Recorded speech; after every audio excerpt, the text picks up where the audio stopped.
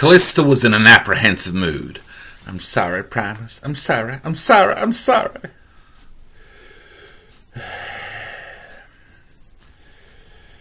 Primus scratched his long blonde hair and looked at his wife, who had shown up from the dead.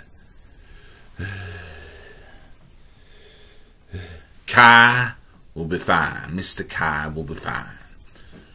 We'll find him. We'll secure him. We'll take care of him.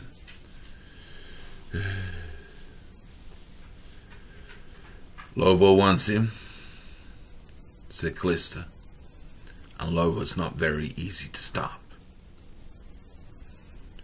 That Harry Hokum, he's got ambitions for the Citadel. That's becoming quite clear.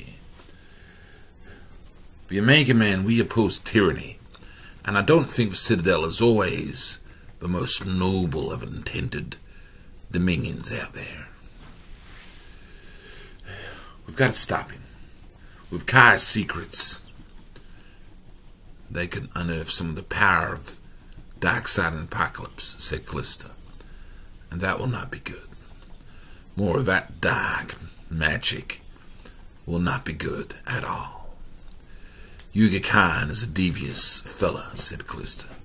What his son Darkseid does down in those pits, in those terror pits in the catacombs of Apokolips is not friendly, and Kai has the codes to get down there and to get Hokum's stooges down there. We have to find Kai and protect him.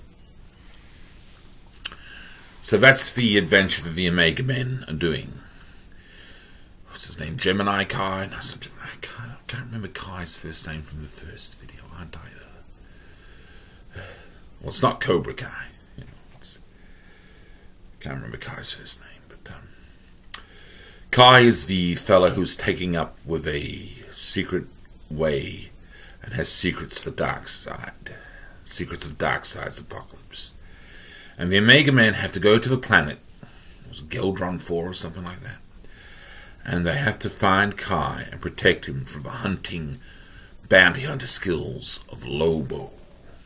Lobo tends to get his man usually in the end. He's probably the galaxy's finest bounty hunter with his associate Bedlam, the bounty hunter. And Bedlam's probably also been roped into this particular bounty, which is set high by Harry Hokum, who wants a citadel to have more power in this galactic game they are playing.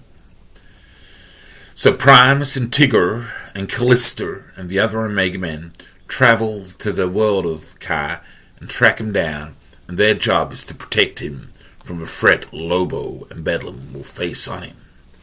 There's a conflict coming, and Kai falls into the hands of Lobo and Harry Hokum, who hooking off to take him back to the Citadel. They travel after him, the Omega Men, and they come to the Citadel and secretly find their way in, using the best disguises that they can. They rescue Kai, but it's too late. Hokum got the codes and the information needed and just whacked him back into a jail cell and forgot about him. No matter, is what Kalista says to Primus. They got their information, but Kai's fine. But Harry Hokum has more power now, says Primus. And that's the least of things we want from the Citadel Empire.